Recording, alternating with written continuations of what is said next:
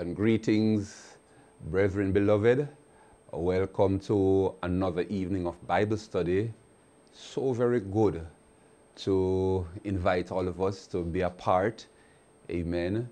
We thank God for what He has been doing, the simple things that we have been looking at as we go through the book of Genesis. We just, up to this point, have been somewhat putting things in a certain sequential manner so that we appreciate the book. We have pretty much been examining the book, surveying the book, uh, so that we can have a basic understanding of what it is about, how, how long it took to write the book of Genesis.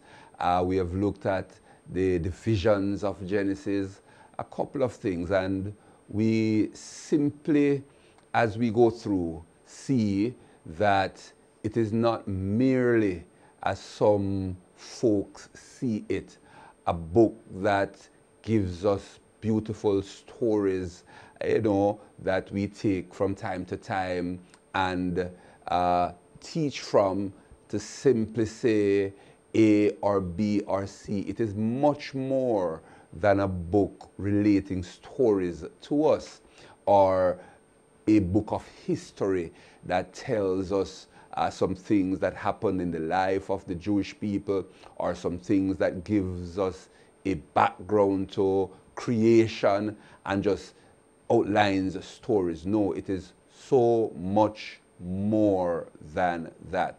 And uh, one of the things that we said in our earlier lessons is that the book of Genesis, right there in the beginning, we said it means beginning, it means origin. It tells us the beginning of all things, the beginning of uh, the human race, the beginning of family life, the beginning of nations, the beginning of everything that we know. It all had its origins there in the book of Genesis. And so it's a book worth taking the time out to study, to appreciate, and to build upon. Now, one of the key things that we said at the very outset is that the book of Genesis, right there in the beginning, it literally shows us the plan of redemption. Clearly, we're seeing by just going through the book of Genesis, brothers and sisters, that the fall did not take God by surprise. It did not take God off guard. He was well aware.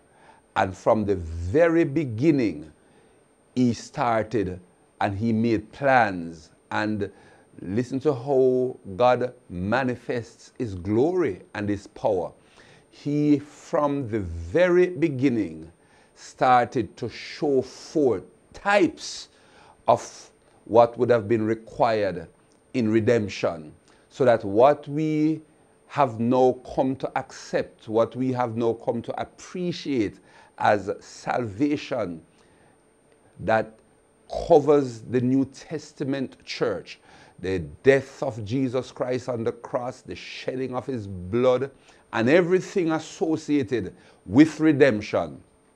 We saw figures, types of it, as early as the book of Genesis itself, signaling that Almighty God knew what had happened, knew what was coming, knew that it was going to happen. And from even before the foundation of the earth, in his logos, in his mind, he made preparations for it so that by time the Genesis record was established, in the book itself is the salvation, is the redemption story. And we see it and we will continue to see it as we survey the book, which we have been doing. And so it speaks about the sovereignty and the might and the power of God. And we see it in those simple ways manifesting itself in the book of Genesis. One of the things we had looked at, and we're not going to review because we have missed a couple of Wednesdays, we're not going to review a whole lot today. but certainly I would like for us to just appreciate the divisions of the book of Genesis. I, we did say, and we'll bring it up for us if we could just slide to the screen that shows us the divisions. We did indicate to us that the, the, the contents of Genesis can be divided into some divisions, and we had broken down about nine major divisions. Of course, this breakdown is so that we can more easier study the book and we can see a particular flow that so that we can appreciate what was done and how it was done in a kind of sequential way. And so we had nine divisions and it might be interesting for us to appreciate that it is not necessarily everyone looking into the book of Genesis will break it down in this way. Folks might have different measures, different means by which they break it down and divide it so that we appreciate it. But for this study, we have looked at uh, a nine division breakdown of the book, and this so that we can see a flow and we can more easily go through the study and appreciate the survey of the book. The first division, we see the whole creation story being outlined. Then by the second division, we see the fall of man. Then the third division, we are seeing the first civilization, you know, how it came about and everything that had to do with the first civilization. And of course, we did say that things got so bad in that first period that after a while, every imagination of the heart of men was just evil continually. And uh, to that extent, God decided that He was going to uh, judge, amen, pronounce judgment on the earth. And uh, true to His word, He did just that. And having done that, we see the flood, amen, um, impacting this earth. The Bible said the windows of heaven, heaven was open and the fountains or the floodgates of the deep was loosed and there was a massive flood that covered the entire earth. Amen. And then we look at the next division, which would have been about the fifth division. Uh, we see the dispersion of nations. And that was something that the Bible was clear on. Lots of questions are asked from time to time. How is it that folks are spread across the earth and we have the Chinese in their little territory, we have the Arabs in their little territory, we have the Caucasians in their little territory, we have the, the Africans in their little territory. And the Bible did give us a kind of breakdown as to how groups, different groups dispersed and went into the different areas. And of course, these different areas have different conditions. Some of these areas are extremely hot. Others of this, these areas are extremely cold.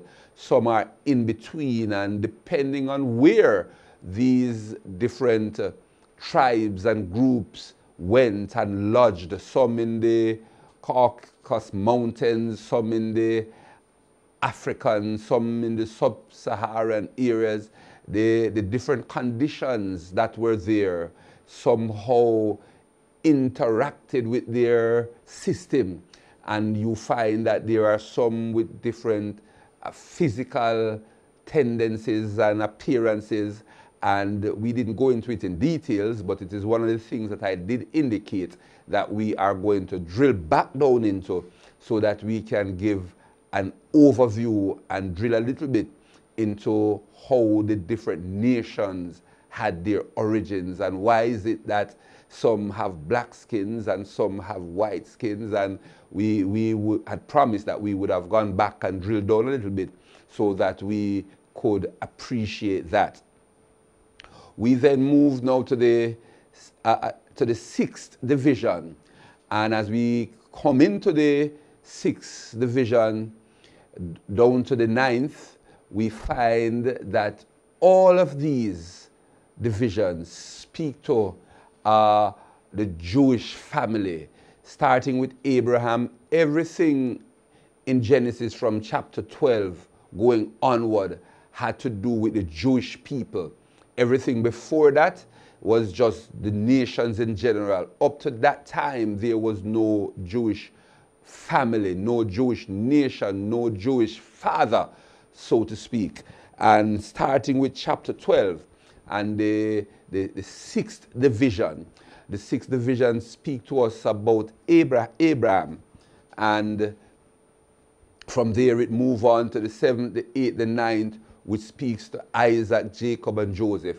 And it is interesting, brothers and sisters, to, to understand and to appreciate that every one of these individuals that represented the patriarchs, the, the Jewish fathers, every one of them, their lives had some specific things that showed uh, that redemption that was to come later on. And it is so important that we see these things and we extract. It is as we start to go through these things that we realize and we recognize more and more that the Bible had to be inspired. It had to be God breathed simply because the, the, the stories all tie together. The principles are common and they they, they show a common thread and they clearly represent a flow coming all the way down to New Testament times. We look in Genesis and we see as we will go through, um, and we went through the book, the, the, sixth division, and looked at the life of Abraham. And we will just revisit a few things before we go on to the seventh division. But just looking at the book, we realize that in one of the escapades of Abraham, he met upon a man called Melchizedek. Now you're talking about hundreds, thousands of years ago. And yet, the Apostle Paul, as he was doing his writings and he wrote to the Hebrews at one point, and not only the Apostle Paul, but the King David himself, we find him writing in the book of the Psalms and they both spoke to this same man, Melchizedek, that Abraham met back there in the book of Genesis, so that there is a connection, brothers and sisters, with Genesis and the Psalms, a connection with Genesis and the book of Hebrews in the New Testament, so that Paul the apostle, spoke about the same individual that David spoke about. These men were separated by hundreds of years, and yet they all spoke to a common figure that was mentioned in the book of Genesis. As we know, Genesis was written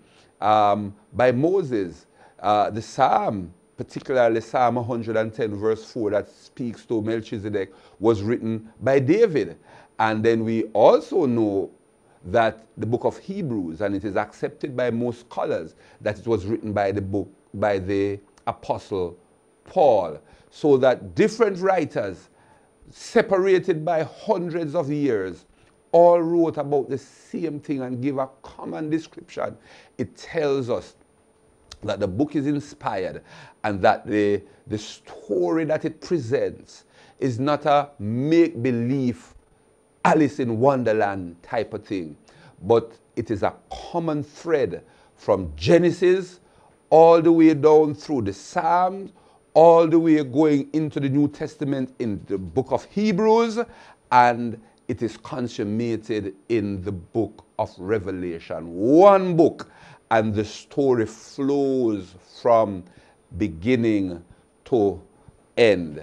And so it is so very important that we understand and that we appreciate, brothers and sisters, that this thing is solid, this thing is real, this thing is true. And so, one of the things we can take away, amen, from uh, a study of the book of Genesis is simply that it confirms and reaffirms the validity of the book called the Bible. Because no matter how much years are in between things happening, they all seem to tie up, they all seem to come into alignment as we go further and further away from the book. And so it doesn't matter how far Genesis is from Revelation. It doesn't matter how far the Psalms are from the book of Genesis. The story is one seamless tapestry going down the annals of time, and they align themselves and they come together and they present one complete, comprehensive picture. And it is the picture that God wants us to have of His redemptive plan and His grace and His desire to bring back man into alignment with what He had in store for them from the very beginning. He established the Garden of Eden, and we said it before, and because of sin, we were cast out of the garden, and a flaming sword was placed around to protect it from men coming back into that place until a certain time. So Genesis actually showed us the garden in its early stage before sin came, and we saw that it was a most beautiful place. It was so beautiful, not only in its physical attractiveness, but in its spiritual significance, because it was in that garden that God Almighty came down and communed with man in the cool of the day. So it was a, a place where it was cool, it was tranquil, it was peaceful, it was beautiful, it was just everything that a human being could ever imagine when it comes to peace and tranquility and beauty. And then that was crowned with the presence of Almighty God. It could not get any better.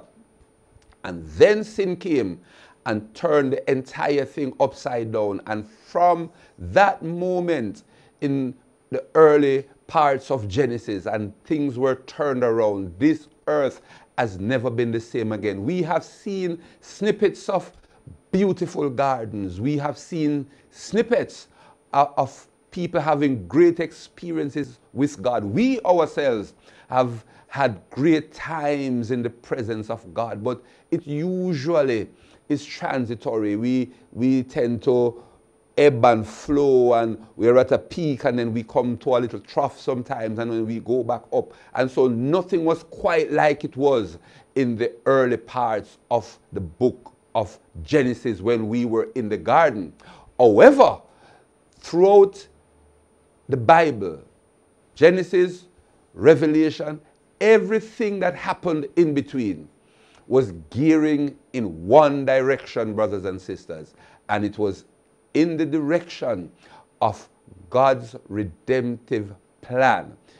Everything that happened prefigured and showed us that a time was coming when we would have been redeemed, and having been re- redeemed, we would have continued to live, live on this earth for a time until a certain period which Revelation speaks to when he would make all things new and he would move to restore what had been lost in Genesis, in the garden, so that we see in Genesis man being cast out of the garden.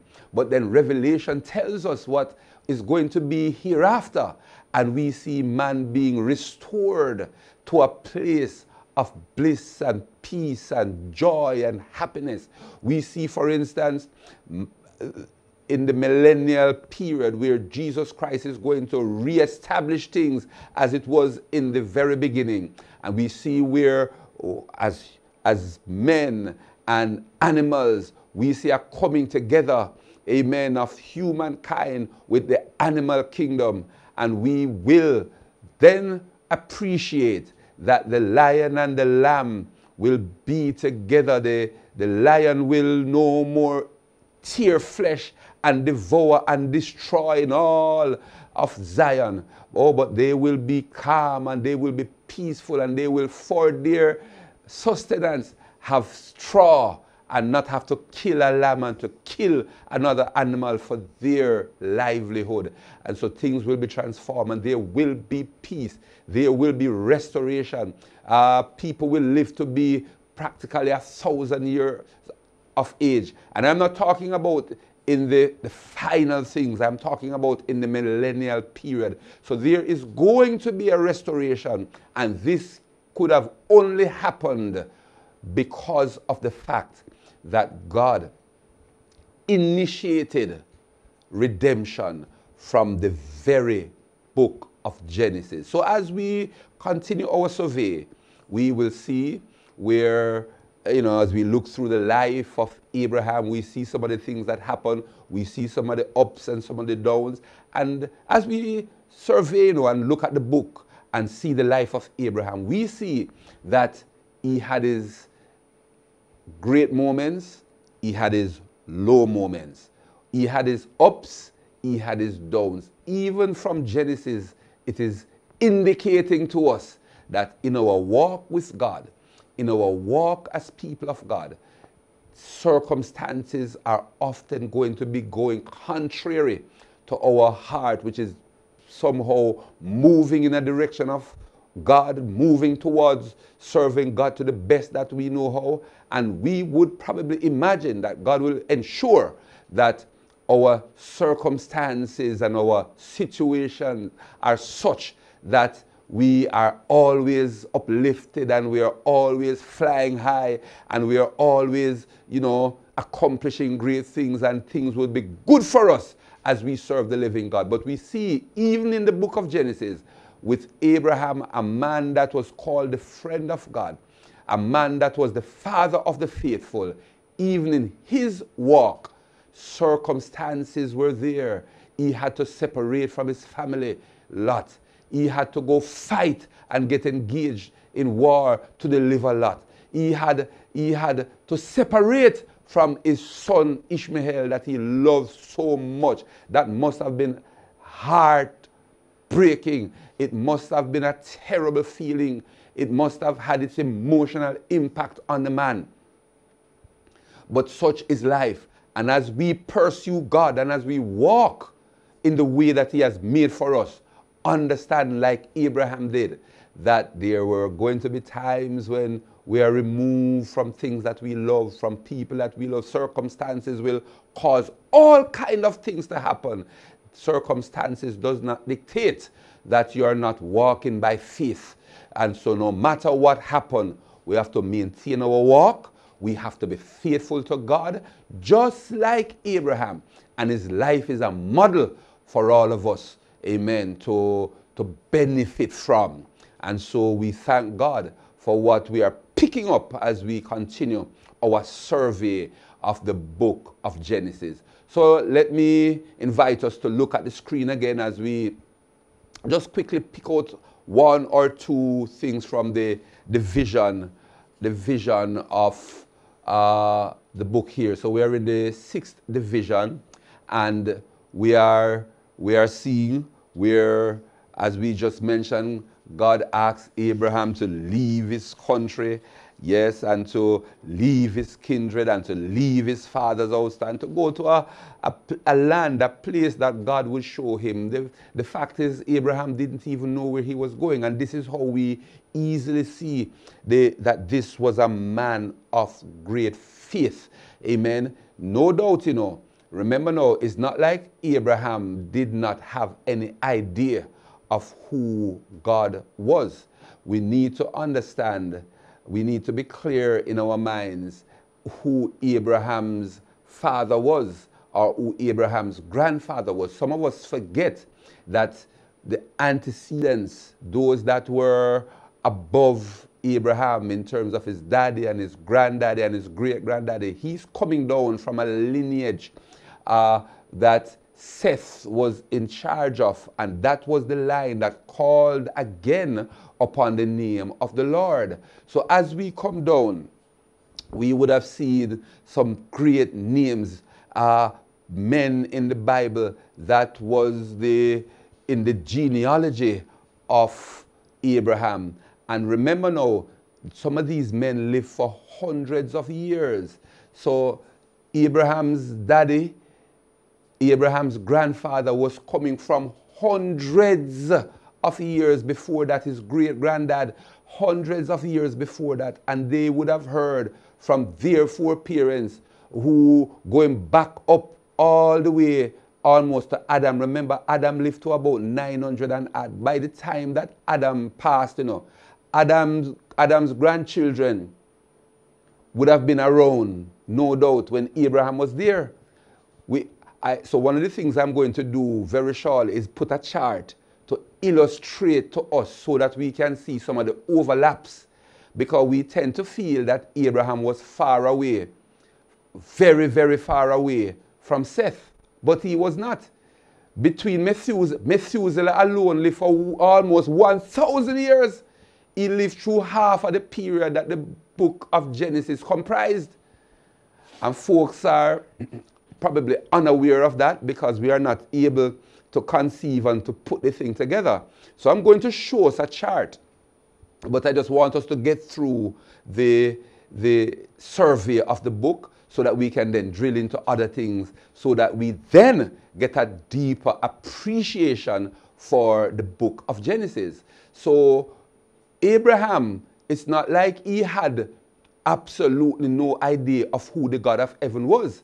No doubt his grandfather, his great grandfather, because even at that time, men had still started to drift away from God again. One of the things that we said is that, one of the things that we said is that after Cain had killed his brother Abel, right? Cain was there, he was uh, a murderer, and his offspring came and would have been born into that kind of situation.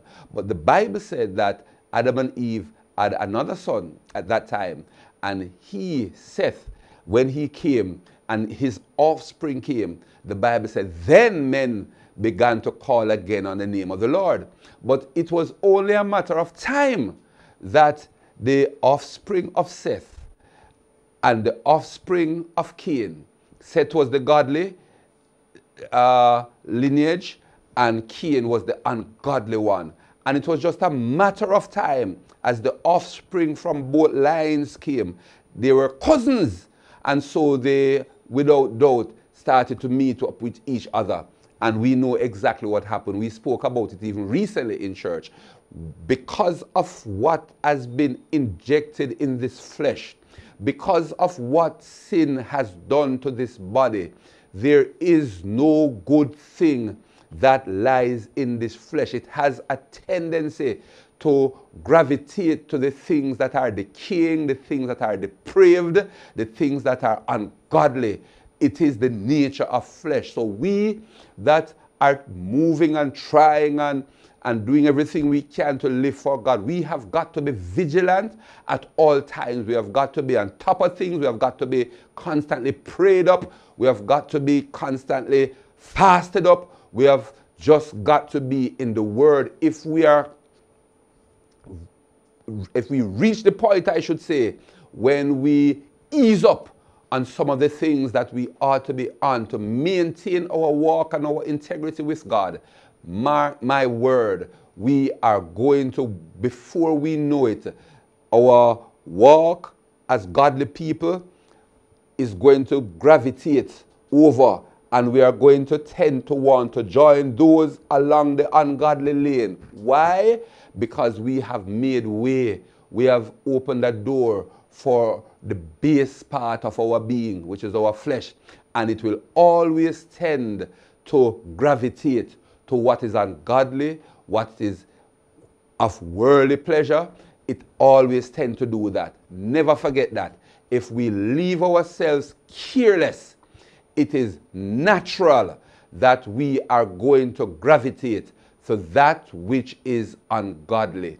And that is exactly what happened with the lineage of Seth and the lineage of Cain. They eventually came together because by the time we reached down to Noah's period, the Bible said men everywhere, every imagination of their heart was just evil continually. We tend to be depraved if we are careless and leave ourselves open and therefore we are not praying as we should and seeking the face of God as we should and living as we should, we will gravitate to ungodliness. Make nobody fool you. So when you have a brethren, when you have a brother, when you have a sister, someone whose encouragement to us all the time is, man, keep on praying. Man, keep on serving the Lord. When their encouragement to us is always uplifting and to, to seek the Lord continually, treasure that brother, treasure that sister, treasure that person because it, they are helping to keep us in check. Whenever there are those that will tell you, look, man, you're too much into church. Give yourself a break, man. Free up yourself and go enjoy life. There is no enjoyment in life that can be so good to the extent that you must enjoy it by marginalizing your walk with God. Any advice to marginalize your walk with God so that you can enjoy yourself otherwise is bad advice. A good advice is always to draw closer to Him, to seek to walk holy, because holiness pleases God. Anybody tell you that you go to church too much and giving you advice that you must ease off, not good advice. Yes, we must balance our time, and nothing is wrong with that. And I encourage that, and we teach that. But as often as we get the chance to pray, to be in the house of the Lord, to fellowship with our brethren, nobody, but nobody, have the right to tell you to cut down on all of these things and give more space to your secular pursuit. We need to be balanced and we need to give to Caesar that which is due to Caesar, but we must give to God that which is due to God and let no one interfere with that. And so that is exactly what had happened even in Abraham's time. A lot of those around him were idol worshippers. A lot of those around him were no pagans. And remember, these were family members. Yes, because it, was the, the lineage at the time of uh, Seth and the lineage of Cain. And they were brethren. But over time, the bad influence overpowered the good influence. And it is like that and will be like that every time unless we make sure that we maintain our walk and our integrity with God. So Abraham had a, no doubt a background and an understanding of who Almighty God was. And I do believe that he knew the voice of God. So that when God told him that I want you to leave, he knew that God was talking to him. It is not a case where he got up and his mind told him to just leave because he's tired of what was happening here and him just want to leave him family and him, him just want a new beginning, a fresh start and see new faces and him just go and leave and trust God to lead him. No, no, no, no, no. He did not get up of his own volition and left and was then looking for a new environment to start afresh and no. God told him to get up and to leave your kindred, to leave your country, and to leave your father's house. And these were tightly knit family units. So to just get up and walk you had to know that God was speaking to you. And I do believe that Abraham knew the voice of God. So, how did the faith come in? The faith come in in that when God said, Get up and leave, the man knew all that he had because at that time, Abraham was a wealthy man. He was wealthy, the Bible said, in his flocks. He was wealthy, the Bible said, in silver and in gold. He was wealthy. He had his family. He had his ties. He had his connections there. But God spoke into his spirit. God spoke to him and he knew that he was, it was God because he knew who God was and he had experienced God. So it wasn't any, I wonder if I am doing the right thing. He knew. But his faith was such that if God said, based on what I have learned about God and based on who I now know him to be, I will move at his every word. And this we must understand as we survey in the, the, the sixth division and look at Abraham. He only wanted to know that this was God speaking. This was the word of God. And he would move, and he would move with alacrity. And this is how he became known as a man of faith and the father of the faithful. He believed God's word. Remember when he had to take his son and offer his one son after he could not have children. Himself and Sarah, she was barren. They couldn't have children.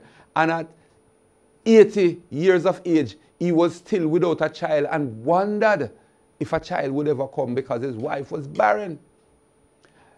We eventually know that his child, the promised child, came, which was Isaac.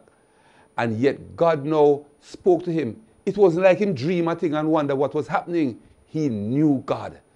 He had experienced the Lord. He knew the voice of the Lord. And this is showing the faithfulness of the man, a man of faith and, and, and obedience. Because you will never exercise faith outside of obedience. Any man who is not obedient to the word of God, any saint who is not obedient to the word of God, cannot prove themselves later on to be men and women of faith. The two things that characterized Abraham, and they go hand in hand. He was obedient to the voice of the Lord, yes, obedient to the word of the Lord, and then he moved faithfully God said it, I am going to do it, whatever the consequence. And so God said, Look, I want you to offer up your son, your only son, Isaac. And of course, he did that to prove, to try to test the heart of his servant Abraham. And as we survey, we are learning things from this. And Abraham, being obedient, obeyed and moved and got himself a dagger and would have sacrificed the man. I mean, it's hard to believe. But it was God and he knew the voice of the Lord. And nothing would stop this man from being obedient to the voice of Almighty God. And he moved to carry out the instructions of God in total obedience. Many of us would draw back. I said, boy, God, I hear you, but this don't make sense. Boy, God, I hear you, but I can't do it. Not Abraham. Let's learn from him. He didn't even know that God was just taking him through a, a process, a testing process. But he moved with fear and obedience to carry out the request of God in a total obedience. And having done that, you know, we know the, story. God stopped him and said, look, man, now I know. And this is the lesson for us as we do the survey and we look at the life of these patriarchs. Let us look for the little things that they did that in which God was well pleased. It was his obedience and it was his faith. He became the father of the faithful. Yes? And he was so known. And so I want us to understand he was asked to leave his country, he was asked to leave his kindred, leave his father's house, go to a place where God was going to show him. He didn't even know where he was going. And this is where the faith comes in. Walking by faith. He did not even know where he was going. He was just going according to the dictates of Almighty God. It is a lesson for us today, thousands of years later, a lesson for us. Even sometimes we, we know that we are walking with the Lord. We know our hands are wrapped up in His hands, but He's taking us to a place and we don't even understand what is happening and we don't even understand what is happening in our lives. We don't understand why this is happening. We don't understand how we never get through with this. Hello, this is our going through our segment of circumstances, which is exactly what Abraham in his time went through. Even though he was a man that was obedient and faithful, he had his situations. So will we. Let us look back at the chart as we, we, we quickly run through, and I will then uh, make one little injection before we go over to the, to the seventh division which would be looking at Isaac. Now, God had promised to make Abraham a great nation. He was going to bless him. He was going to make his name great. And I can tell you, God was faithful to his word. And even his faithfulness is not even yet complete because at item number four, which is a messianic promise, it says that the Lord was going to bless all the families of the earth through him. And it is, of course, we recognize that it is through his offspring and the Jewish race that Messiah the Prince actually came. And he will, in his time, and it is a time that is to come, everyone on earth is going to be blessed when he sits on his throne right here on planet earth in year in some time in the future. And we are going to see at that time that item four is going to be fulfilled literally. And that is something to come. So God made this promise. And this is a scripture that speaks it, Genesis 12, 1 to 3. Right? So it is important that we know those things. We saw where some highlights in Abraham's life where God called him to go to Canaan and then he had to go down into Egypt later on. Then we see where he had his own experience because himself and Lot, they were, of course, you know, he was Lot's uncle. And they lived together because Lot's daddy, which was Abraham's brother, died years sometime before. And Abraham, Uncle Abraham, actually was the the de facto father of Lot. And yet, there came a time when, they, because their families were growing, their livestock were growing, uh, it was just too much, and they were both wealthy people. So there was a separation, and Lot went his way, Abraham went his way. And so I mentioned it earlier, sometimes in life we have to separate. There comes a time when, and when I say separate, you know, I mean we go different ways, we take different avenues, uh, we do different things, we have different objectives, and we pursue what it is that and where it is that we feel God is leading us. And so that happens. Sometimes there is hurt when we have that kind of movement, you know, but it is just how life is. And of course, uh, other highlights in his life we see where God established a covenant with Abraham and it is through that covenant that the Jewish nation, amen, would have come about and would have been separate and would have been different. And God would deal with them in a specific way and in a different way. In, in looking at other areas in the life of Abraham, we see where circumcision was given to Abraham. This was where circumcision started, and it was a sign of the covenant between God and the people that was to come, which is the children of Israel, the Jewish people.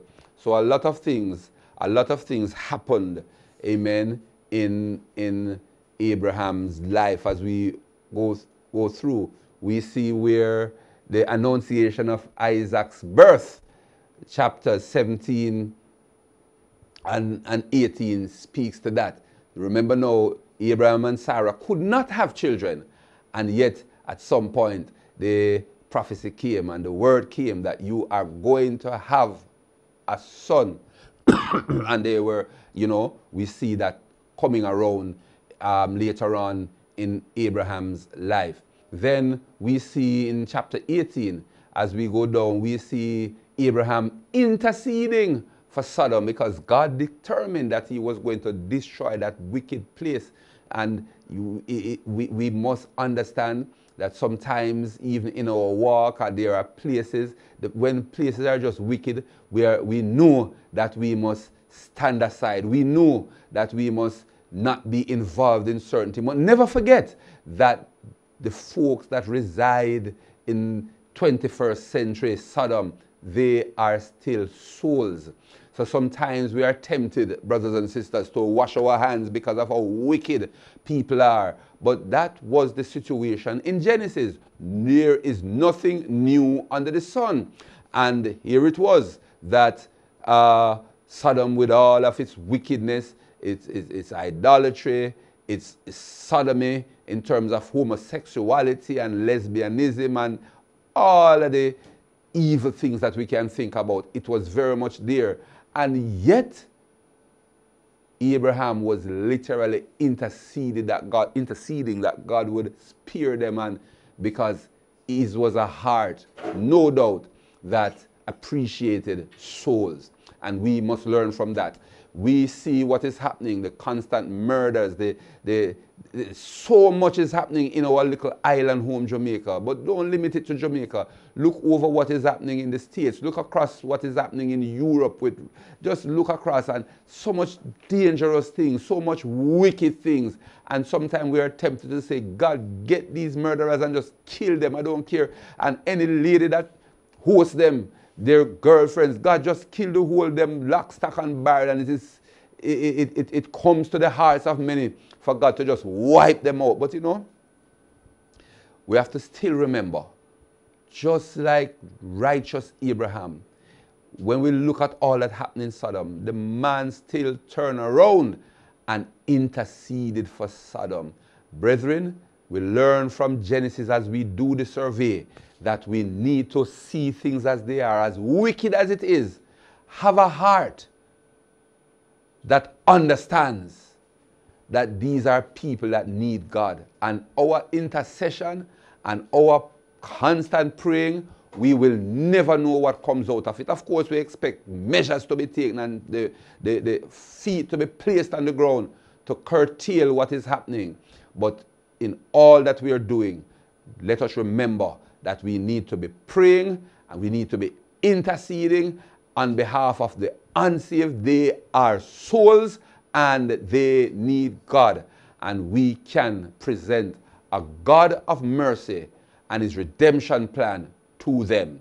As we go further in highlights in the life of Abraham, we see again another tragedy in the life of Abraham. But now he has to push out Hagar, that is the mother of his child.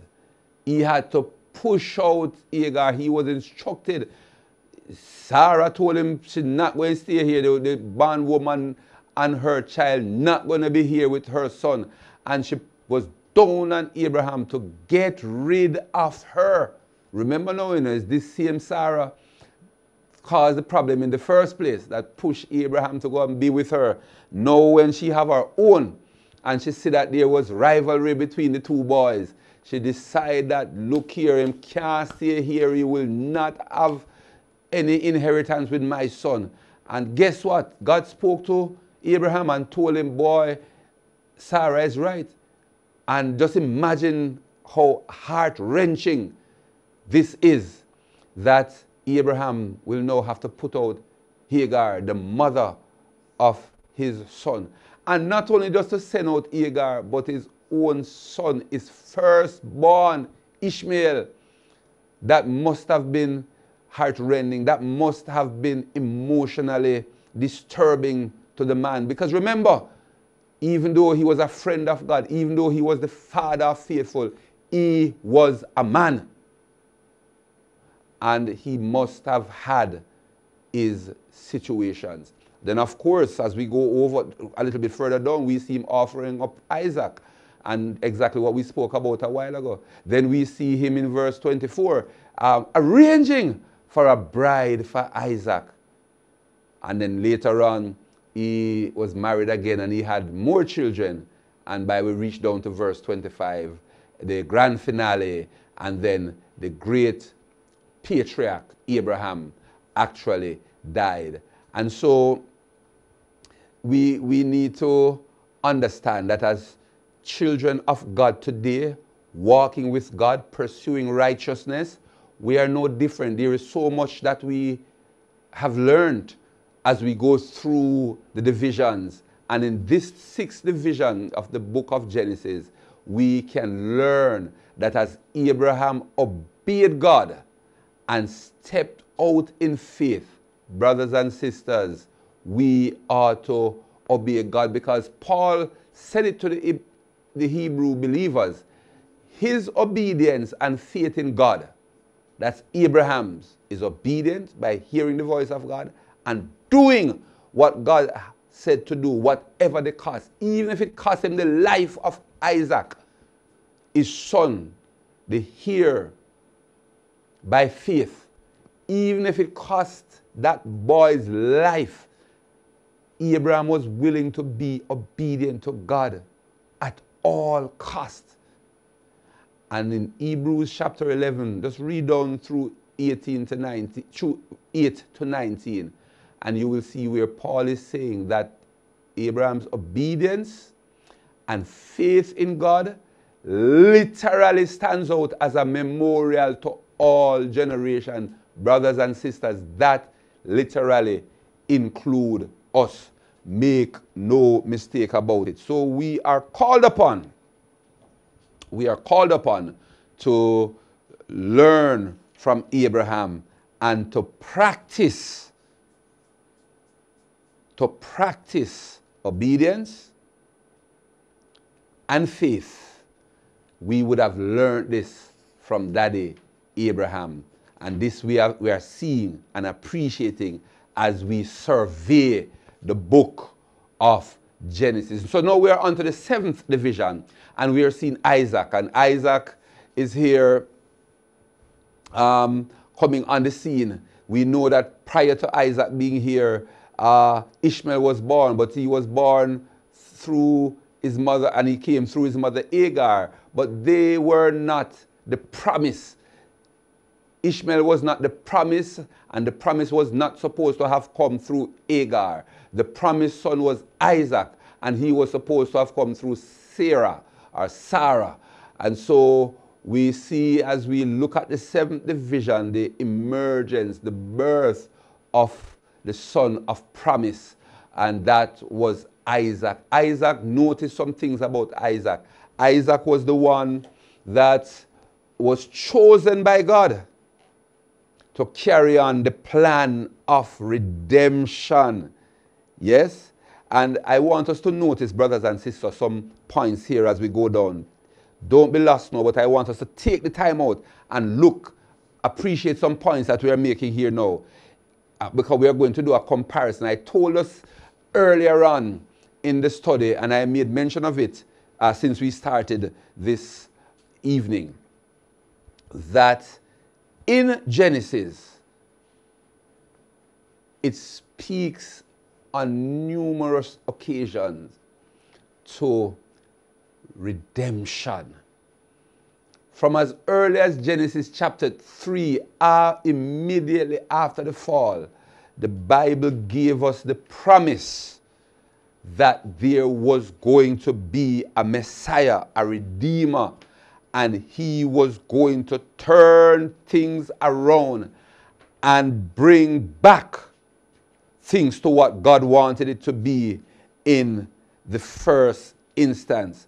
Right? The Bible tells us, in, and, and the promise was made in Genesis chapter 3 and about verse 15. And we need to know that from as early as there, Genesis 3, verse 15, as early as from there, God was giving his hints and making his word known that a Messiah, a Redeemer was going to come. And God does his thing in a way.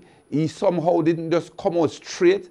Whatever his reasons for veiling his promises, although he makes it plain and we pick it up, but it comes out in a veiled way. So in Genesis chapter 3 and verse 15, he said, that And I will put enmity between thee and the woman, and between thy seed and her seed. It shall bruise thy head, and thou shalt bruise his heel. That was a clear warning to Satan and a clear word of prophecy, messianic prophecy, that someone was coming who was going to hit you out. Now, Satan hearing this and hearing this coming from God, he knew that something was coming. He knew that something was going to happen. He knew that something was coming to knock him out cold, technical knockout. But he didn't know when, he didn't know who, he didn't know where. And this is how God works. It is not only with us as people that he gives a word but doesn't tell us the how and the where and the when and the why. Even has, you see, God is sovereign and he knows every nitty gritty detail. But it is a thing and a way that God works. And even as he works with the adversary, he could say, Look here, I am going to put, make you and the woman be enemies. I am going to cause thy seed and her seed to be at odds. And know this, Satan, it shall bruise thy head, even though you are going to bruise his heel. What does that mean? Satan don't even know, but him knew that something was coming. And I want us to understand that.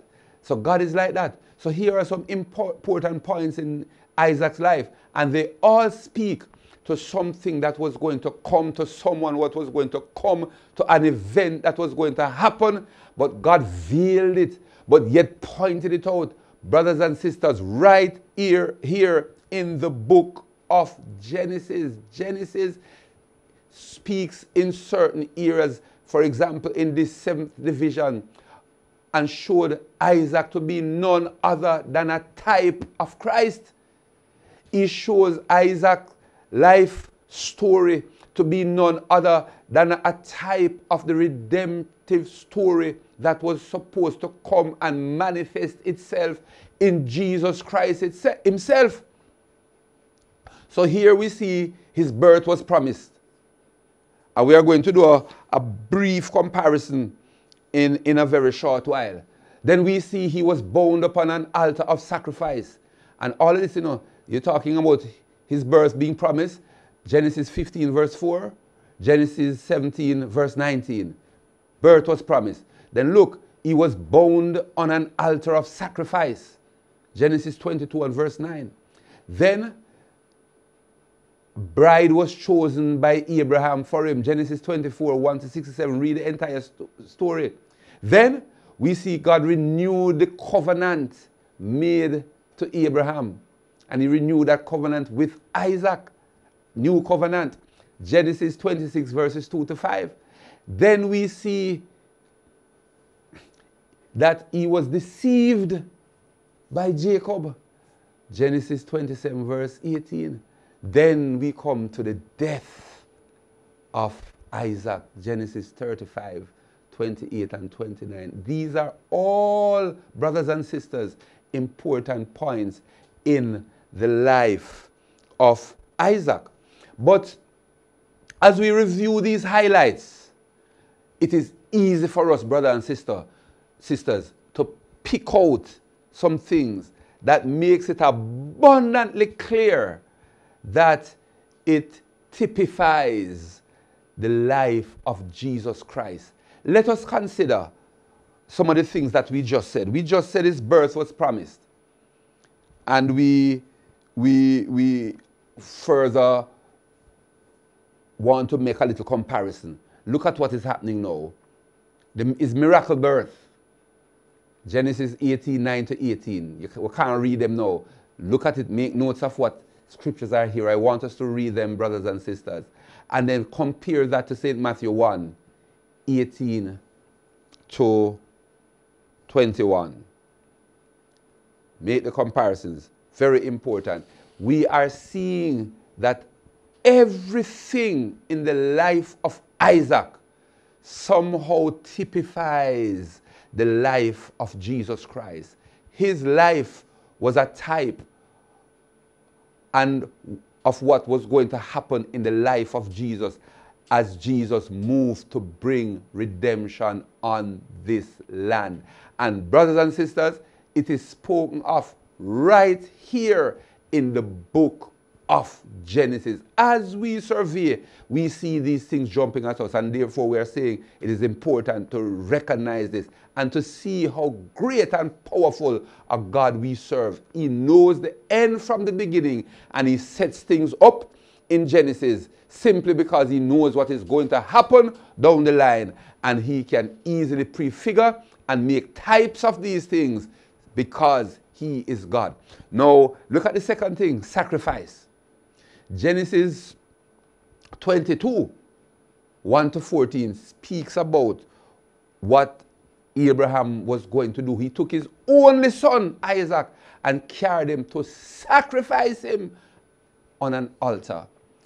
And when we compare that to St. Matthew chapter 27, and we go down, we see where Jesus was the sacrifice that was going to be offered on an altar, the altar of the cross. Remember now, when a sacrifice is made, you know, and you're on the altar, the blood had to flow. What God did, He took back Isaac up. He didn't go through with it because he saw what was in Abraham's heart, but he was just showing, making a typology of what was to come and the real sacrifice. Because in the story of Genesis, when God took, allowed Abraham to take up back Isaac, he made provision and a ram was in the ticket that ultimately was sacrificed. So blood was still shed. A sacrifice was still made on an altar right there. And later on, it was fulfilled in the life of Jesus Christ himself. And so St. Matthew 27, verses 22 and 23, compares with Genesis 22, verses 1 to 14, a very important point. So we see that happening in respect of his miraculous birth.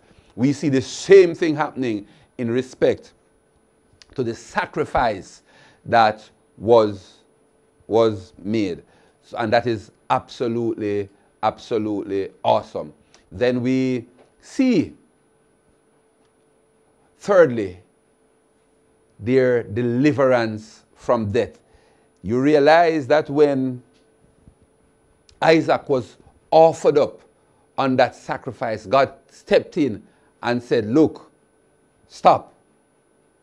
And Isaac got up and was taken off the altar. Go right over into St. Matthew chapter 28, verses 1 to 6. And we see that after Jesus was sacrificed, after his death on the cross, Matthew 28, up from the grave he arose. He was delivered from death and he is to die no more. So that everything that we are seeing so far in the life of Isaac is birth, which was miraculous, the fact that he was to be sacrificed by his father. And notice that he was the only son according to promise that Abraham had. So the, the scripture even say your, your only son. Remember now, you know, he already had, and this is Abraham, he already had a son, and yet, which was Ishmael, and yet, when he was going up to offer up his son Isaac, he said, Boy, God tell him to offer up your only son. And so, yes, he had a son already, but only son really means because he was a son according to promise, and he was the only one that could fit that bill, which was Isaac. So we see the miraculous birth, it compares to Jesus. The sacrifice, it compares to Jesus. The deliverance from death compares to Jesus. And now servant seeking a bride. I want us to recognize that Abraham sent his servant to find a bride for Isaac. Isaac needing a bride. Remember, no, you know, so far we are showing Isaac being a type of Christ.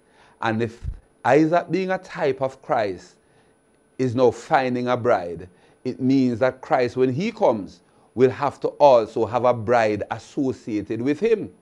But we are seeing that indeed Jesus Christ has a bride, And that bride is none other than the church of Jesus Christ, the bride of Christ. And it is spoken about in 1 Corinthians chapter 12 and verse 13. It is spoken about in Ephesians chapter number 5, 25, 26, and 32. It is spoken about in Acts chapter 15 uh, and verse 14. Brethren, beloved, I want us to understand that what we are seeing here in the seventh division, what we are seeing here in the book of Genesis, as we survey the book, we are seeing messianic promises. Earlier, we made mention of Genesis chapter 3 and verse 15. We are seeing messianic promises. We are seeing types of Christ showing up in the lives of some of these patriarchs. And it is simply saying to us that things are not by chance, but they are organized, they are well planned out.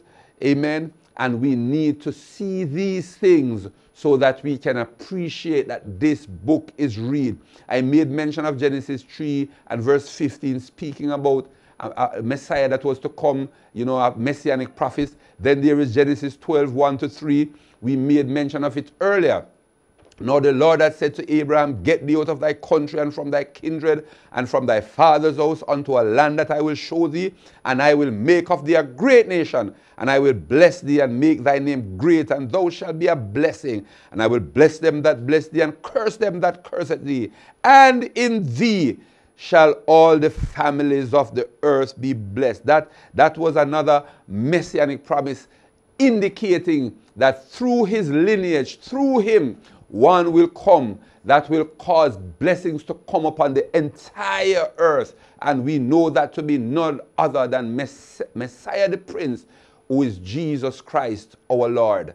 And so we are seeing in the seventh division that Isaac was a type of Christ.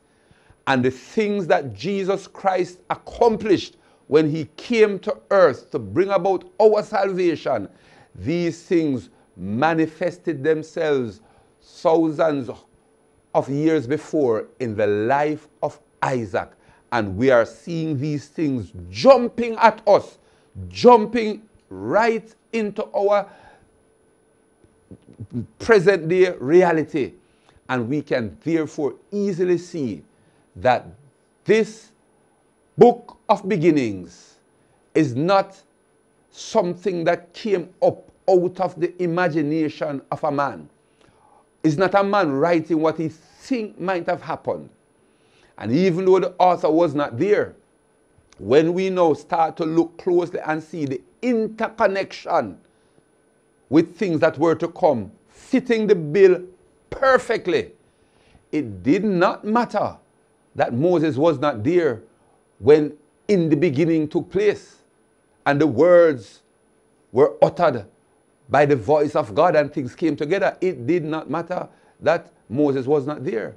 The one who was there, who is God Almighty, inspired the mind and the heart of Moses and instruct him what he ought to write and how he ought to write. And he did that and putting everything else that was at his disposal together. He came up with this book. And the book of Genesis is a true report a true reflection, a, an indication, and a reality of what happened in Genesis 1 and what continued to happen throughout the entire book of Genesis. Brothers and sisters, we can rest assured that this book is authentic, this book is inspired, the contents are real, the stories have things attached to them that are types of the real thing that was to come. And when we start to look at the New Testament scriptures associated with these scriptures in Genesis, we see that there had to be a real, powerful intervention by an unseen hand and that is none other than Almighty God. And I want us to accept that. We now jump over to another division, the eighth division. And this speak to the patriarch Jacob. And so we are taking some time and we are looking at the life of Jacob and we're going to look at some outstanding events, important events that actually took place in his life. And even there, we will see how easily, amen, some of the things there have uh, connections with things that were to come later on in the future. Now, Jacob was one of Isaac's two sons. Esau was the elder of the twin brothers.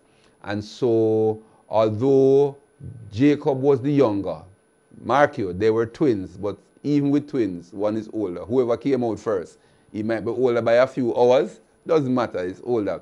So Jacob was the younger. Yet, he was chosen as a channel of blessing over Esau, who was the elder. And according to Jewish custom, the elder was supposed to be the one through whom the blessing comes. He was supposed to be the one that become the priest of the house. He was the one that was supposed to be the bearer, the channel of the blessing that was passed from father, amen, to the next generation. And it always, always flowed through the firstborn. And if the firstborn was a female, then it will flow through the firstborn male whenever that male came. And such should have been the case, but the order seemed to have been reversed. And remember, God is sovereign, and God alone does things according to his own will. He chose to pass it on through a different channel, and this case, in this case, the channel of the younger. And I guess as we go on further, we will see why. But let us take a look, brothers and sisters, at a few outstanding events in the life of this man, patriarch Jacob. Yes, his purchase of his brother's birthright. And remember, the birthright is very significant. It establishes you as the firstborn, and therefore everything that daddy has that was to be passed down, that would place him in a position of authority, that will place him in a position of power within the ranks of the family that was bestowed, bestowed upon the firstborn. And he had that right. And under no circumstance should he give that up. That was his scepter of leadership over the family. But at a time when Esau was down on his face, hungry, Jacob seemingly was very witty and he presented the situation in a way to the extent that he bought his brother's birthright. So remember now, he did not steal it, he bought it. And there was an exchange. And so, chapter 25 goes into this event. And this was a very significant event in the life of Jacob because at this point, he now has taken upon himself a position of authority and leadership, a priestly position, even though his mannerism and his lifestyle was still one that was one characterized by deception and deceit and, and, and all that kind of things, scamming and so forth. Mark, even though he bought it, it was through a kind of trickery. Not, nevertheless, he bought it. He somehow seemed to have seen and appreciate the value of spiritual things. And as we go through his life, we are going to recognize and that he does. And we are going to recognize that it is something that God saw and something for which he loved Esau, uh, Jacob, sorry, and despised Esau. For a man to give up his spiritual authority for money or for natural things you can see why he, he would be despised. But for somebody to use even trickery to get and to acquire and to seek to achieve spiritual heights, spiritual things, it is something that although the means is wrong, but when you look at what the man was trying to achieve and accomplish, you can understand why God might later on at some point have said, Jacob I have loved, Esau I hated. The man just aspire, even in his state of being deceptive and being a trickster, the man aspired for spiritual things. I mean, the man was a deceiver to the extent that he deceived even his own daddy. Genesis 27 gives us that outline, and we're just looking through uh, the, the life of Jacob. And as a result of this, he had to run away from home. And he ran and he went to Padan Aram, and there he met upon Laban. On his way, he had a vision and he vowed a vow and he started a, a trek to establish himself as a son of God. He became repentant and he started to seek after God and etc. etc. Started to build himself, started to climb, so to speak. And um, it reached the point where he had a very personal experience with God. I mean, I jumped over the part where he met up with Laban and he had his dealings with, with Laban. And, and I must tell us, we need to understand something very important. Even with his vision and his vow in chapter 28 to start walking with God, and he started a new chapter in his life, and he was really pushing and doing his best to reconstruct his life and to draw near to God and to live for God because he has done so, he had done so much in the past that was wrong and deceived his father.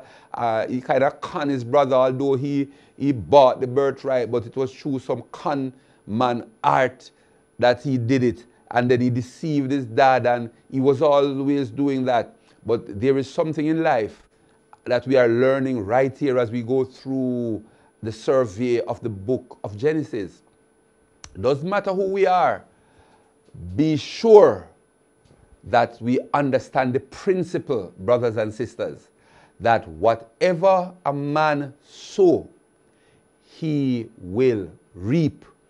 And God literally allowed Jacob to, yes, he left his homeland because of what he did, and he ran away and he reached as far as the Padan Aram and he, along, along his journey, he had a vision of a ladder from heaven to earth and he recognized that God is in that place and he really reached out and he really surrendered to God and he built an altar which represents repentance and everything and he made his vow and he really was pursuing God. But once he reached over, according in chapter 31, once he reached to Laban, uh, lots of things started to happen in his life because he made plan now was to marry to his beautiful wife. I believe she was Rachel. And as he was there and he work, planned to work for seven years, at the end of the seven year period, he was expecting the beauty, the one that he loved, only to find that he was tricked and he was given Leah, the one that he did have no intention to marry to. And then he was asked, well, if you need to have her, you're going to have to work seven more years. And he did it. And then he got the, the, the, the wife of his choice. But he started to get retribution. He started to get payback for the very things that he did. And this is happening to him even after he made his vows to God, even after he had his vision, we have to be very careful how we tread, brothers and sisters. And we have to understand that God is not asleep. And if you dare to deal treacherously with your brothers and your sisters, don't think that it is going to go unseen and unchecked by Almighty God. We are learning this even as we go through and have a panoramic overview of the book of Genesis. Whatever you sow, you are going to reap, and he met upon is much. God used Laban, Laban to execute, pay back on Jacob for what he did in the past. Now, I might just add, for us, when we are out in the world, we are going to do the things that do, is expected of people in the world. And that's fine. When we come to the Lord and we place that on the altar, that now goes behind us. The account for that is totally wiped clean. So none of those things will come back to us. What we must be very careful about, brothers and sisters, is when we now get saved and when we now acquire knowledge and when we now become mature and we understand what is required of us, and when the word is presented, brothers and sisters, we will have no excuse when the word is presented to us and we reject the word. We will have no excuse when the Bible tells us what is right, sorry, and we reject the right. We will have no excuse when the word is present, to, presented to us and we seek to tune it out because we don't want to hear it. Because why? That very word that you might be hearing will rise up to condemn you for certain actions that you plan to take. So you tune the word out. That will not tune out the retribution that is going to come because you're supposed to know that word at this stage in your Christian walk. So I might use the opportunity, brothers and sisters. I might use this teaching moment to let us understand, might as well we open our hearts and our minds. Might as well we open up our systems to take in the word and to embrace it and to apply it. Because even if we tune it out, my people are destroyed because of lack of knowledge. We should have known. And there is no excuse for not knowing. We go about and we still, at this point in our Christianity, at this point in our walk with God, there are folks that still continue to tear down and to break down and to slaughter with their tongue their brothers and their sisters. At this point in our walk, there are still those who can't even appreciate the, who we are as brothers and sisters. It cannot be right. Be sure, certainly from what we are seeing in the survey of Genesis, uh, yes, he met God with a vision and he vowed his vow and he established his altar. But Laban was there to execute God's payback for the things that he willfully did to hurt his brother, to hurt his father, to hurt those that were around him. You mark my word. And so let us gear, let us use this and learn from these events in the life of Jacob in the eighth division that we are going through to adjust ourselves and make sure that we have things properly lined up. All right, we see where he wrestled with an angel in chapter 32, and this was the real turning point in the life of Jacob. And all of us will have a time when we go through some experiences that marks a major turning point in our life. And as a result of that, the man was in a frame of mind where he could move to reconcile with his brother. Yes, to reconcile with those that he had wronged. And we thank God that he was able to do that according to chapter 33. And of course, we see in chapter 46 where he had to leave where he was and he had to go down into Egypt. And in Egypt, he met again with Joseph, who was taken away from him. And so we kind of have a, a, a, full feel of what transpired in the life of this patriarch uh, David, uh, patriarch Jacob, I'm sorry. And so I, just want to pull out quickly some simple lessons that we can add to what I already said earlier on. And I make the point, lesson number one, can we see the power of the grace of Almighty God? When we examine the life of Jacob, his conmanship, when we consider all that he did, his brother, his father, everything, we see easily that only the power of God's grace could have caused God to still walk with this man. He, God walked with Jacob for about, I think when we do the maths and we look at the amount of years, you're talking roughly 32 years.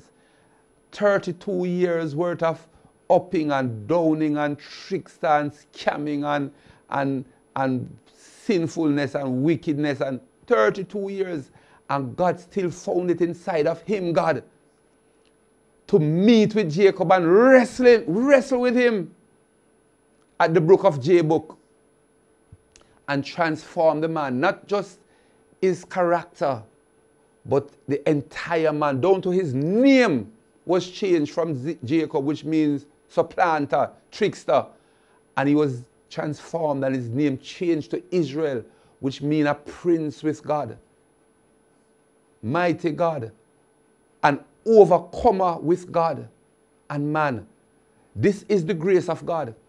And although God mete out back to him, you know, retribution, it doesn't mean that because God allows some things to happen to you because of things that you had done before. It doesn't mean that because God do that, he's done with you. No. That was the just recompense because of things that you and I did. But the grace of God covers all of that. And He still holds on to us. And He still shows His great compassion to us. And ultimately will save us. So, lesson number one, we are seeing the power of God's grace. Lesson number two, we are seeing how God esteems faith very highly right? We are seeing lesson number two God place a high premium on faith. Jacob's scheme and everything to obtain his brother's birthright is inexcusable. Yet, we see where God declared that I love Jacob. You know why? Because of his earnest desire for and his appreciation of spiritual things. The man, by faith, him wanted the things that he knew matters most, and that was spiritual things. And brothers and sisters, we all have our weaknesses, we all have our shortcomings.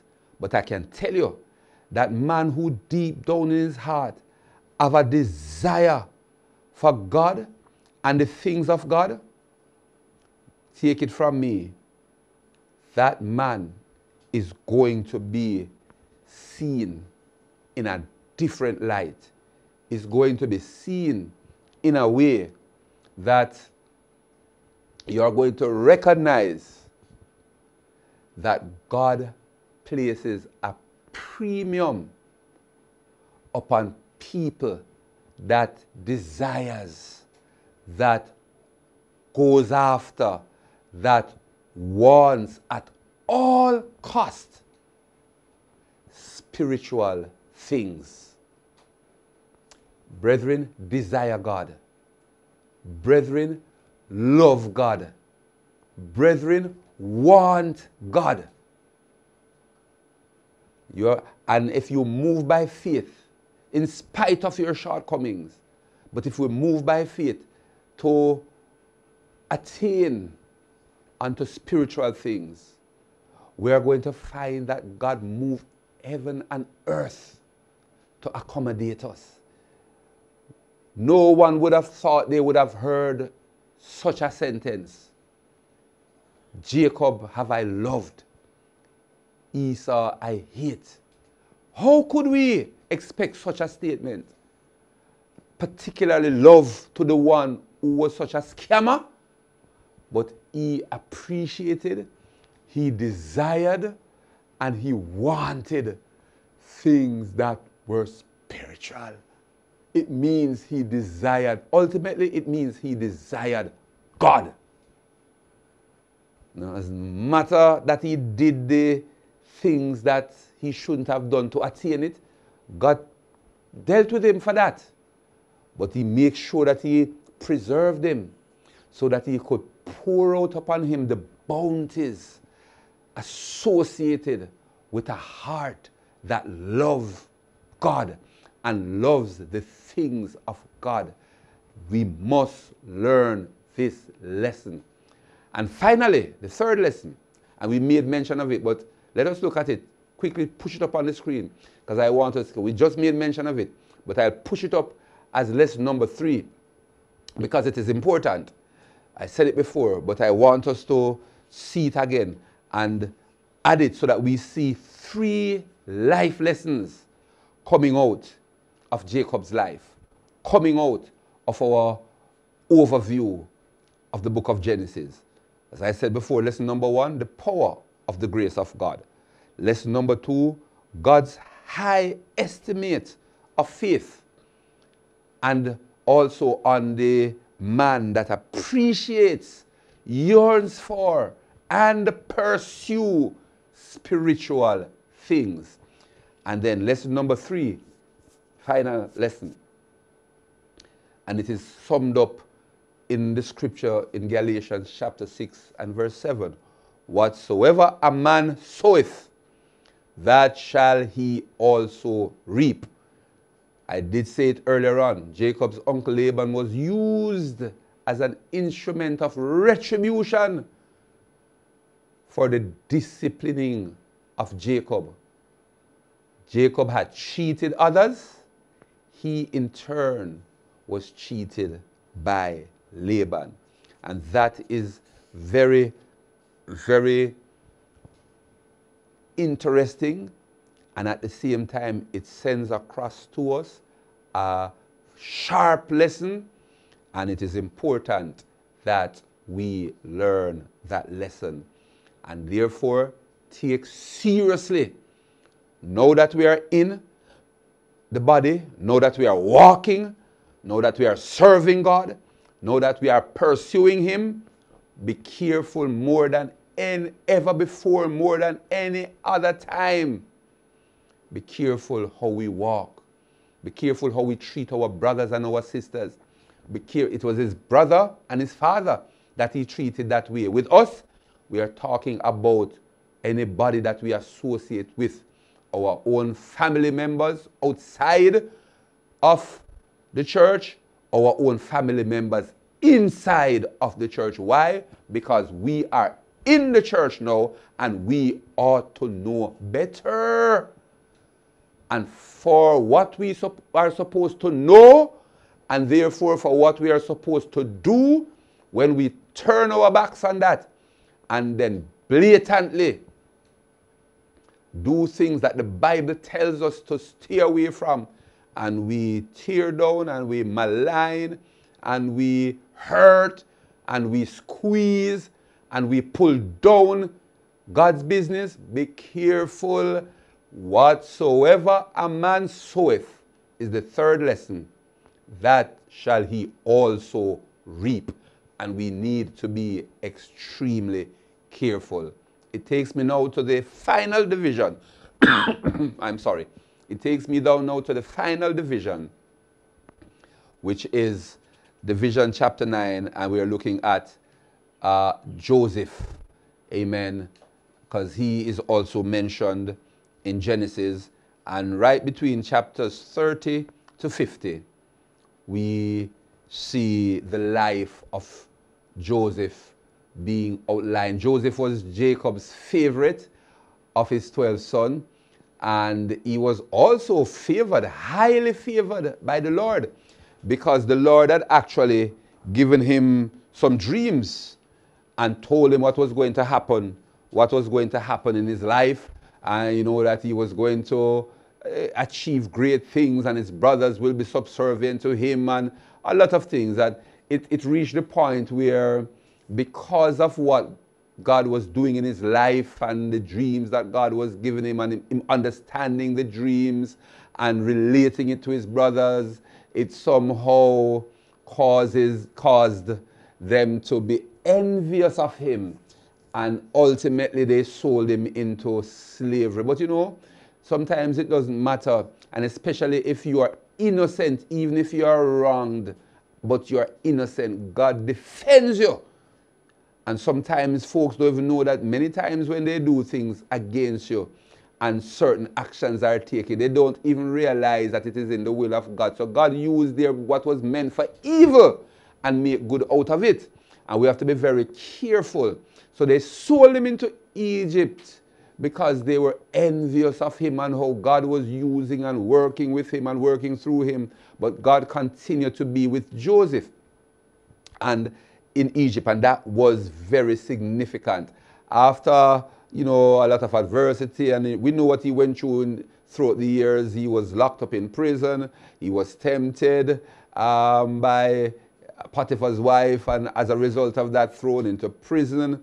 And we know everything that happened to him. He was forgotten while he was in prison, and ultimately, it would appear that he was not going to come out too much.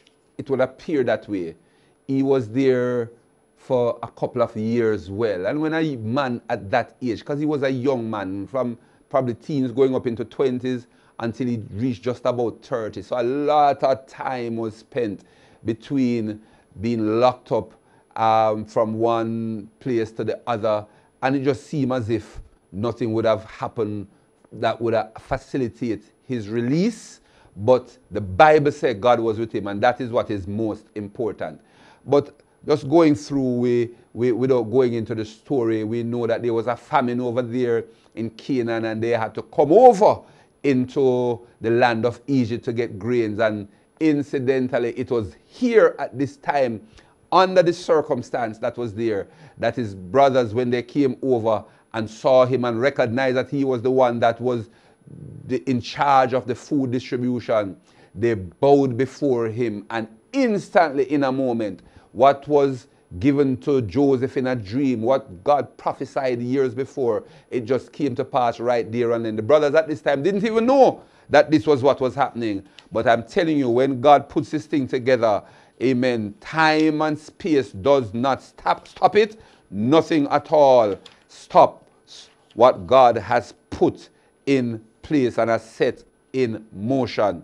Now, Joseph's experience was a part of the plan of redemption. Most folks, I want us to look again because we are showing us, we are literally showing us, amen, that God is in control. We are literally showing us that God knows what He's doing. We can see in the life of Joseph we can see in the experiences that he had that a part of the salvation plan, the redemption plan of God to redeem mankind manifested itself in his life. God literally permitted, it didn't happen by chance, brothers and sisters. This was planned.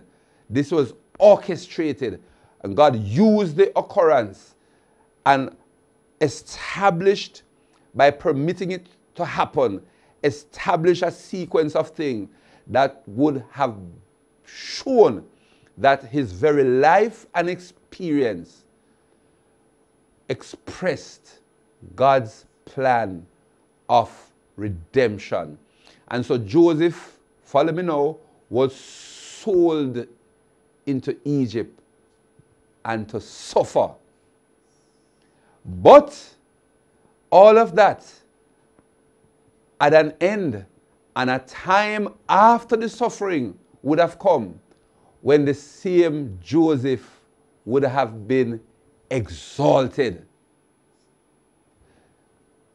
And that being the case, when he was exalted, he would then be in a position to bring his entire family into that land where they all could be nourished during the time of famine that was taking place everywhere else in the world. I wonder, brothers and sisters, if we are seeing something emerging here already.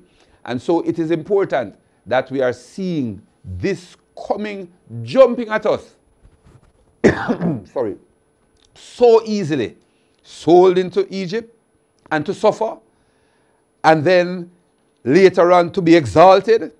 And being in that exalted position, he brings his family over into that place where they were, he was so that they could be nourished and be protected and kept from the famine that was across the entire world. It sounds very familiar. And so I want us to bear that in mind. Then I want us to look at some main points here in the life of Joseph. One, he was loved by his father. He was envied by his brethren. He was sold to the Ishmaelites. Then he was favored by his master. He was tempted by his master's wife. He was imprisoned by Potiphar. And ultimately, he was exalted. So we're not looking at who did what. We're not looking at the fact that it was Pharaoh that exalted him. We're not looking at the fact that it was Potiphar that imprisoned him. We're not looking at the fact that it was the master um, Potiphar's wife that tempted him. No, we're not looking at the fact that it was the Ishmaelites to whom he was sold. No. What we are looking at is that he was loved, just as Jesus was. He was envied by his brethren, just like Jesus was. He was sold, just like Jesus was. He was favored, just like Jesus was favored by the Father. He was tempted, just like Jesus was, except that Jesus, just like Joseph, did not sin. He was imprisoned, just like Jesus was. And he was ultimately exalted, just like Jesus was. But we're not finished. He was unrecognized by his brethren at their first meeting, just like Jesus was after the resurrection. They came and saw him and didn't even know that it was he. Brothers and sisters, I wonder if we see exactly what is happening. He was revealed to his brethren at the second meeting. He was reunited with his father later on. And then the story ends with the death of Joseph. Brothers and sisters, a whole lot is happening here. A whole lot of things we are seeing as we prepare to close uh, this last division and therefore close out on the, the survey of Genesis before we start to go into some specific lessons that we are going to look at in the book of Genesis. Brothers and sisters, these things are showing us that it is not coincidence. It is not just a book that was put together. The writings of Genesis was deliberate it shows us in the life of Jacob. It shows us in the life of Joseph. It shows us in the life of the Isaac. It shows us in the life of Abraham things that were going to be become real in the dispensation that you and I are in today. When the real salvation come, when the real sacrifice was made. Everything else before was a type. Even the sacrifices that occurred during the tabernacle and the tent, they were all a shadow of what was to come. The reality was when Jesus died on the cross and shed his own blood. He, the altar was there, the sacrifice was there, who was Jesus. The blood was shed, which was his blood. The, the, the, the high priest was there, who was Jesus himself, so that he was the, the high priest that offered up his life to God, and he was the very God that received the offering. It was his blood that was shed. The cross that he died on was made from wood, from the trees that were around. And guess who spoke? And trees came into existence. The same Jesus, the same God. So he was the creator of the tree that made the cross. So it was his altar, his cross. It was his blood. He was the sacrifice, who was the lamb. He was the high priest that was offering the sacrifice. He was the God to whom the sacrifice was offered. He was everything. And so I hear the writer say, He is my everything. He is my all. How can it be that He is the God who received the sacrifice? He is the high priest who offered the sacrifice. He is the lamb who is the sacrifice. His is the blood that was shed that was the blood of the sacrifice. His was the cross because he made the tree from which the cross was erected. Everything belonged. He did it all for you and me. All love of God, so full and free. All of this came together in the book of Genesis. The redemptive power and work of God was shown right in Genesis and it was presented before our very eyes. Brothers and sisters, as with his forefathers, Joseph's life typified the life of Jesus Christ. His father's love for him, compare Genesis 37, verse 3, and St. John chapter 5, verse 20. The hatred of his brethren, compare Genesis 37 and Matthew 27, verse 1, verses 22 and 23. Do the comparisons, brothers and sisters. Look at his temptation. Genesis 39, verses 7 to 12, and Matthew chapter 4 and verse 1. His patience in suffering. Look at Genesis 39, verses 20, um, Genesis 41, verse 1, and also look at, compare to James chapter 5 and verse 11. My God, we jump over his promotion by Pharaoh. Look at what happened in Genesis 41, verses 39 to 44, and compare that to what happened in Mark 16 and verse 19. Brothers and sisters, I look, I want us to recognize, look at his marriage to a Gentile bride during his rejection by his brethren. Brothers and sisters, listen to me. In Genesis 41, verse 45, I want us to know that Joseph married not to anybody from in his own kind, from his own kind. He did not marry someone from his side, from his tribe, from within his grouping. No, he married inside of Egypt. I believe his bride was a daughter of one of the Pharaoh, one of the, the, the, the high profile leaders in Egypt, a Gentile bride he took. And guess what? Jesus, because he was rejected by his own, he turned to the Gentile and took out of them a bride for his name. Look at Acts chapter 15 and verse 14. The life of Joseph typifies the life of Christ every step of the way. His revelation of himself to his brethren the second time. Look at Genesis chapter 45, verses 1 to 3. And later on, look at Zechariah chapter 12, verse 10. When his Bible, according to Zechariah 12, he's going to stand in that day upon the Mount of Olives and he's going to show himself to his brethren that I was indeed the very Christ, your Messiah that you rejected.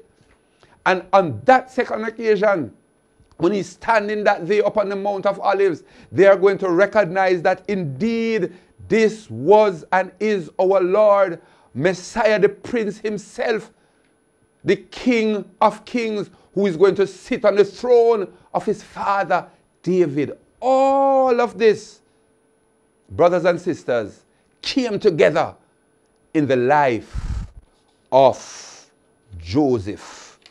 So the book of Genesis closes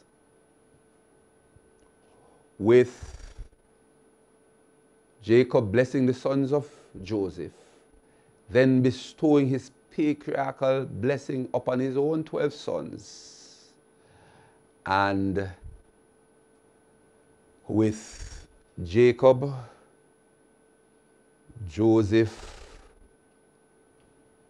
going the way of all men, dying and moving from the stage of time. Brothers and sisters, what we have done over the last couple of weeks was to survey the entire book of Genesis. We see the historical events, the world was formed, hum humankind was made. We saw sin in the world. We saw the introduction of family time. We family life, we saw the introduction, amen, of the story of redemption or the plan of redemption. We saw the formation of nations. We saw the dispersion of nations. We saw God sending the flood, everything. We saw, we, we, have, we have done over these couple of weeks, we have had a panoramic view of the book of Genesis a simple book, but a profound book. It gives us an introduction to the rest of the Bible. It gives us an introduction to the theme of the Bible, which is redemption, the plan of redemption. And we see what happened here, the fall, and then the plan for restoration and reconciliation. And it all transpired, it all happened over time through all the books going down until we reach in the book of the Gospels and we saw Jesus Christ coming and we saw the sacrifice that he made. And after the sacrifice, we saw the movements of the church from the book of Acts until this very day. And we are living in the follow up to Genesis. And we are going to come now in a little while to the close of the event, the rapture of the church, the entering into the millennium, and the restoration of the pre sin period. And we are going to have a grand time here on earth for a thousand years. And thereafter, final things will come. And the book of Genesis has given us a clear, concise picture of the development of things as we know it today. And I invite us to take time and review these lessons. It's very important so that as we go on, we will have a deep and profound appreciation of the things that are there. And so, when we get back together, God's willing, for the next Bible study, that's next week, we are going to drill down into some things. I want to take us to talk about Melchizedek. I want to take us to talk about how we have the nations scattered. Where did they come from? Where did the different uh, races originate? I want us to talk about some things that are there that have questions, uh, question signs around them as we continue to explore the book of Genesis and thereafter we see how we proceed. The Lord bless you, brothers and sisters. We have come to the end of another Bible study. God's willing, next week we pick up and continue. Let us pray. Father, we come before your great and your awesome presence, and we thank you for enabling us and allowing us this evening to go through uh, some more in the book of Genesis. Thank you, Lord, for where you have been taking us. Thank you for what you have been teaching us and what you have been imparting to us through your words. We pray, Father in heaven, that you will open our hearts and our minds and help us to absorb and to embrace what it is that we are learning. This is the Bible, this is the book, this is the Word of God, and we are thankful to you. Continue to inspire our hearts, inspire our minds, and help us to grow from strength to strength by virtue of the things that we have learned from Bible study. We bless your name, mighty God. Bless your people. Remember them. Hold your children in the hollows of your hands and let your name be glorified. We give you thanks. We bless you, great God, in Jesus' name. Amen. Amen. The Lord bless you, um, brethren beloved. And I want to remind you at this time that comes this Friday, we will be having, after about three or so years that we have not had any, we will be having a Good Friday service. Uh, we will just have one service on Friday. It begins at 9 a.m. and we invite as many of you as can make it out. We know it's a holiday and so many of our saints are in the country and so we didn't want to have two services. So we are going to have one service, but we want as much as the place can hold. And once you come, I can assure you, you will not be turned back. If, if, if, if, if too many of us are there, we will make room. You will hold. So we invite you to come out uh, for the first Good Friday service in about a couple of years. Let's come out and worship the Lord together. Every time we get the opportunity to come, let's come and magnify the Lord and fellowship one with the other. So, nine o'clock, and I can assure you that by the latest minutes to 11, 11 o'clock, you are on your way home. God bless you. Uh, looking forward to see us on Friday. The Lord bless you. In Jesus' name, amen.